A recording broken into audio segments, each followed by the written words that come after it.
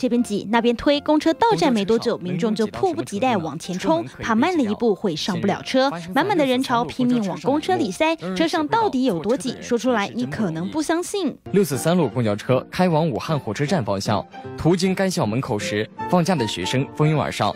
在上下完乘客之后，公交车刚刚发动，车前门、接连门框带玻璃被挤掉了。被挤坏的车门就这样整片掉落在路面上，让一旁等车的人看了好傻眼。目击的武汉科大学生表示，当时放假的学生抢着搭车，爆满的人潮竟连门都给挤坏。师傅，你脑下他，挤了，人下一下，脚脚脚脚。